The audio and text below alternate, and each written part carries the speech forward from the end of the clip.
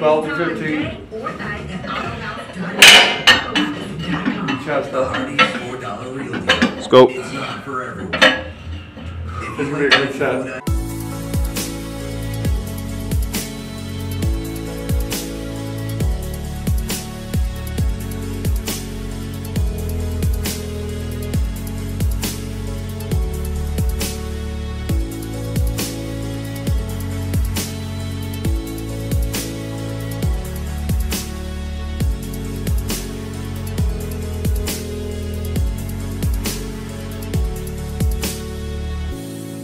Feel it in my quads and my hams. Awesome. Save some time.